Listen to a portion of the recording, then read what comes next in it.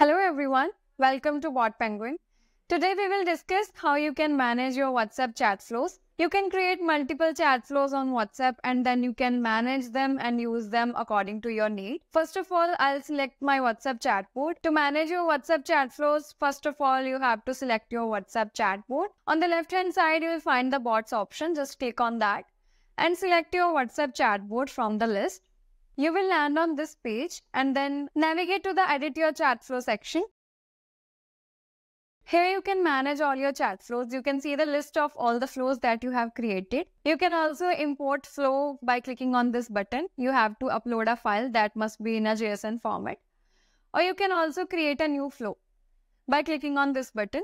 You have to enter the flow name here and then click on create flow. If you want to know in detail how you can create a new flow, the video link will be given in the description box below. You can check it out. Coming back on how to manage your chat flows. So here you can see the list of all the flows that you have created. You can also see the number of messages. You can also see the date when you created this chat flow and you can also see the last modified date. From here you can set any flow as a default flow and a revisit flow. Default flow is the flow which is activated when any new user interacts with your bot. So this flow will be served to all the new users and revisit flow is activated when any user revisits your chatbot. You can set two different flows as your default flow and revisit flow. For example, I want flow 1 as my default flow and I have set flow 2 as my revisit flow. You can also set one flow as a default flow as well as the revisit flow. That means I just want this flow 2 to be activated for the new users and for the revisit users as well. And you can take any actions from here like you can edit your flow. When you will click on the edit option, you will land on this page where you can add any frequently used components, any request information components, send information components or trigger action components. And you can also edit any message text from here. If you want to know in detail how you can edit your existing chat flow, the video link will be given in the description box below. You can check it out.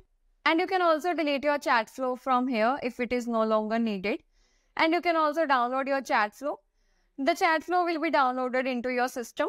By clicking on the three dots here, you can edit your flow name. When you click on this option, here you can change the flow name. For example, I want to set this new name to this flow. After entering the name, you have to click on the update button and you can see the flow name has been changed here. And you can also add flow triggers by clicking on this button.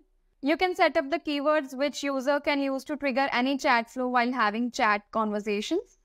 You have to click on the setup trigger keywords. For the demo purpose, I am writing hello keyword here. So when any user types this word, so the new flow that we have created will be activated. You have to click on the add button to add this trigger keyword and it will be added. So that was all about how you can manage your WhatsApp chat flows. If you need any help, you can refer to our help documentation. The link of the same will be provided in the description box below. Thank you.